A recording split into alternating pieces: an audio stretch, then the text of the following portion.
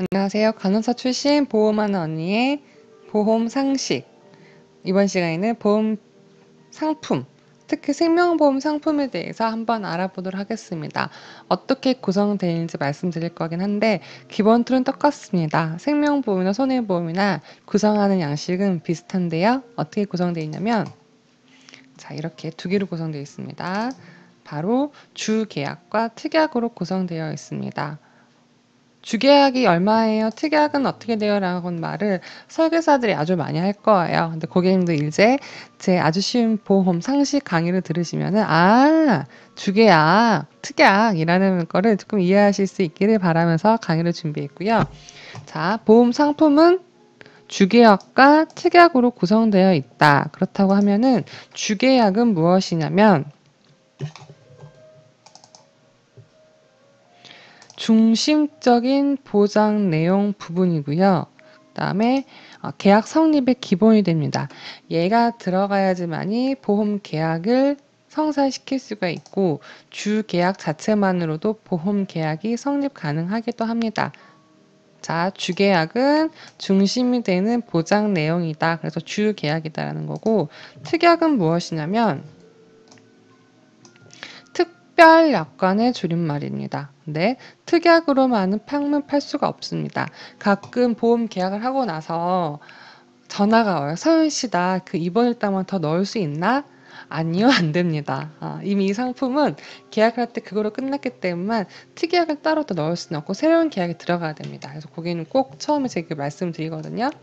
계약을 하시면 줄이거나 뺄 수는 있지만 추가로 넣을 수 없습니다. 그러니까 지금 잘 생각하셔서 좀 보정 준비하시기를 바랍니다라고 말씀드린 이유가 이렇습니다. 그래서 자 보시면 보험 상품은 주계약과 특약으로 구성되는데 주계약은 중심이 되는 거고 특약은 특별약관의 주름말이래.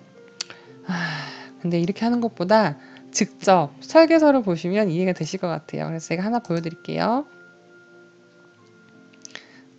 자, 안보험 상품에 있는 건데요. 보시면 여기에는 이 제가 점선 친 게 주 계약이고요. 그 아래 암 입원, 암 수술 고해감들은 우리가 말하는 특약이라고 합니다. 특약이라고 하고요. 보시면 상령일은 보험료가 오르는 날입니다. 그래서 상령일은 모든 해 이렇게 오르는 게 매, 오르는 게 아니라 우리가 나이가 먹어서 위험률이 높아지기 때문에 2019년 10월 26일 지나면 당신은 위험하다고 봐서 1,500원 더 내야지만 일단 가입 가능합니다. 이 의미입니다. 갱신의 의미는 아닙니다.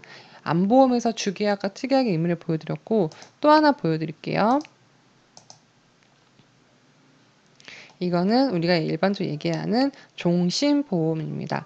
종신보험이기 때문에 주계약, 기본계약은 사망보장금이 들어갑니다. 사망보장금이 들어가고 그 아래에 있는 장애부터 진단금, 입원 일당, 출혈 진단, 급성 심근수 진단은 특약이라고 부릅니다. 특별 양권이 준하고 넣었다 뺐다 할 수 있는 넣었다 뺐다가 아니지 줄이거나 뺄 수 있는 특약을 이렇게 보실 수 있습니다. 그래서 아 보험 상품은 주계약과 특약으로 구성되는데 어, 주계약만 계약이 가능하대. 근데 특약만은 따로 넣을 수 없대. 아, 주계약과 특약이 있구나로 알고 계시면 좋을 것 같습니다.